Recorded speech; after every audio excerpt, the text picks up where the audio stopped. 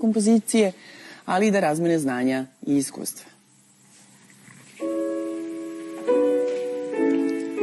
Frederik Chopin, poljski izvođač i kompozitor, ostavio je klavirska dela bogata izraženim sredstvima, čime je pijanističku literaturu uzdigao na viši nivo. Chopin kao inspiracija naziv je ovogodišnje treće manifestacije koje je okupila izvođače i ljubitelje njegove muzike. Događaj je revijalnog i takmičarskog karaktera, na kome su mladi izvođači pokazali svoje izvođačko umeće i razmenili iskustva. Volim Sira Chopina, on e, je posebno ume da rasplače, ume da razveseli, dramatičan je mnogo i eto, zbog toga.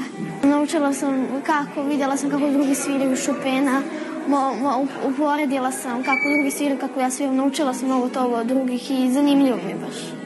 Koncert pijaniste Vladimira Miloševića, koji je poznat muzičkoj javnosti naše zemlje i Evrope, pre svega predstavlja edukativnu nadgradnju i uzor mladim umetnicima, što je jedan od primarnih ciljeva manifestacije. Način slušanja njegove muzike je apsolutno drugačiji od ostalih e, kompozitora koji su pisali za klavir i eto, jedan veliki deo u stvari mog repertoara ovaj, je upravo posvećen delima Frederika Chopina. Svirajući Chopinova dela mislim da može da se ovaj, napravi veliki pomak u, u, u, i u tehnici i uopšte u shvatanju muzike i, i mislim da može da se napravi veliki progres.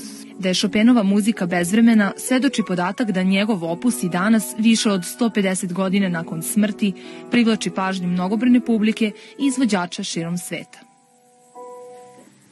28. juna na Ušću koncert Ozi Ozborni prijatelji, a nastupit će uh, još